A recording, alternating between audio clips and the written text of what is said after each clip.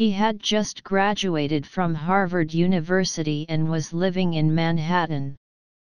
He loved the city and was beginning to feel at home on its streets. World War II was raging in Europe, and like all other good citizens, he followed the headlines daily and did his part for the boys overseas. Hugging his jacket close, he stood shivering at the corner, waiting for the light to change and wondering where his enlisted friends might be staying on that cold winter night. He hoped they were safe. He shivered, only partially from the cold, and looked around him at the bright lights of Times Square. He never tired of this glittering scene. His eye was caught by two men who were dressed in the uniforms of the Royal Air Force of England. They must be on leave, he thought. The men stopped beside him, glanced quickly at their watches, and then nodded and grinned at him.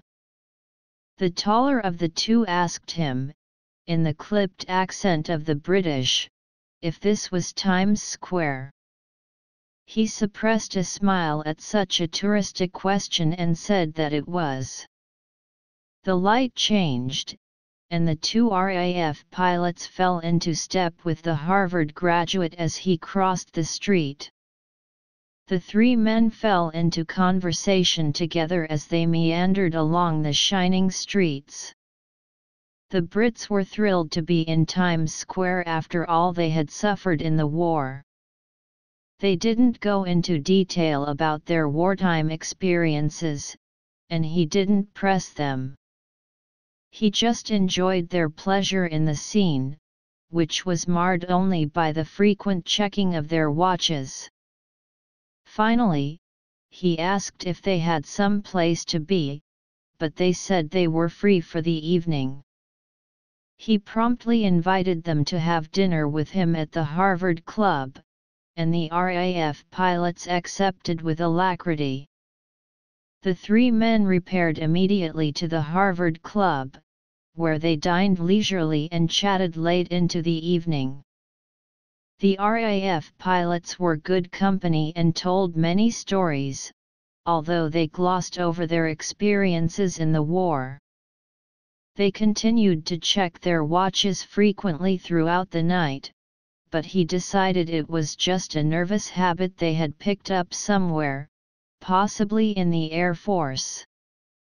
As midnight approached, the two RAF pilots excused themselves or rose from the table. They thanked the Harvard man for a memorable evening and started for the door. Then the tall pilot turned back and told their host that they had always wanted to visit Times Square, but never had the opportunity. It was strange, the pilot added, that they had to wait until after they were dead, killed in action when their planes were shot down the night before over Berlin, to fulfill this dream. The Harvard man stiffened, his eyes widening incredulously and his mouth falling open in shock. He gasped but could not speak. The Phantom RAF pilot smiled sardonically at him, nodded, and joined his friend in the doorway. Then the pilots vanished before the astonished man's eyes, just at the stroke of twelve midnight.